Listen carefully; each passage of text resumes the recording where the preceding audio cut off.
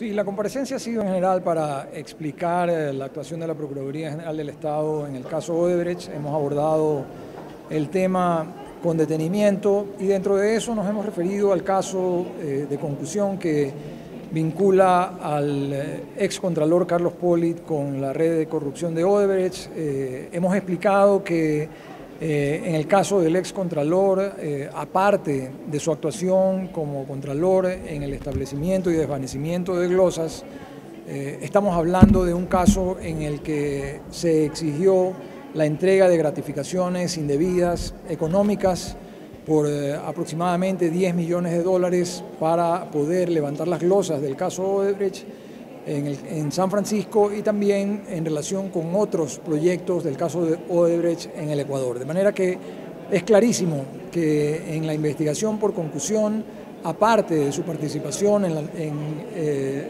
el desvanecimiento formal de las glosas de la Contraloría General del Estado, hay eh, dinero de por medio y eso es precisamente lo que tiene que explicarse.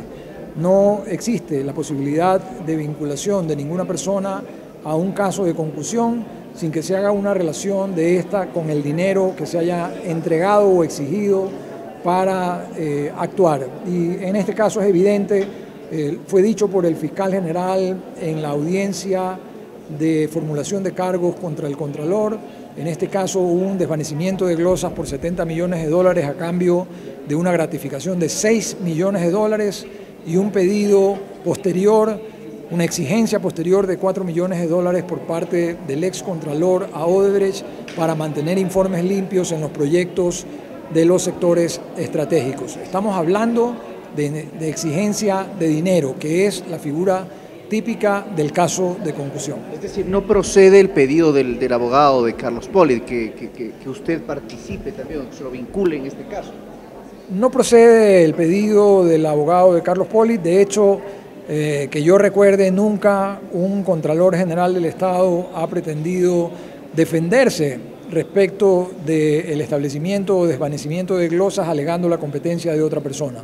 De acuerdo con la ley, el artículo 39, 53, 60 de la Ley Orgánica de la Contraloría General del Estado, el establecimiento de responsabilidad civil culposa, el desvanecimiento de glosas, son de competencia exclusiva del Contralor General del Estado. Adicionalmente está de por medio la exigencia de entrega de gratificaciones económicas, lo cual está específicamente tipificado como delito de concusión en el Código Orgánico Integral Penal. Eso es lo que se investiga, la entrega de gratificaciones o la exigencia de gratificaciones económicas a cambio de informes limpios de la Contraloría General del Estado. Eso es lo que debe explicar el abogado del ex Contralor Carlos Polit en el momento eh, en que ejerza su defensa y cualquier otra cosa es simplemente el afán de distraer la atención respecto de hechos que ni siquiera están investigados.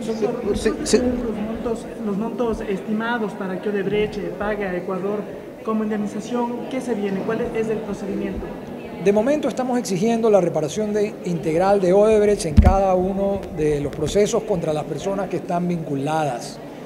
Eh, la Procuraduría General del Estado no puede perseguir la reparación integral de personas jurídicas o naturales que no estén vinculadas al proceso y hasta el momento la, empresa Odebrecht no lo está. Sí lo están sus funcionarios, particularmente con José Conceizado Santos en el caso de asociación ilícita y vamos a perseguir la reparación integral en contra de cada una de las personas que sean vinculadas en los diferentes juicios. Hasta el momento estamos contabilizando más de 40 millones de dólares en perjuicios solamente por la transferencia de las coimas, pero esto no se detiene ahí porque la investigación no ha terminado, los juicios recién están comenzando y habrá que ver en cada uno de los procesos cuál es el monto de la reparación integral. En asociación ilícita, solo en asociación ilícita son más de 40 millones de dólares, en conclusión son 7 millones de dólares más, en lavado de activos por lo menos un millón de dólares más y así se irán sumando los valores en la medida que los procesos vayan avanzando. Pero la reparación integral de Odebrecht sería parte en una negociación o un acuerdo, eh, como usted lo explicó en la comisión, es decir, cuando todo esto concluya y de acuerdo a las eh, reglas o las eh, leyes que corresponden.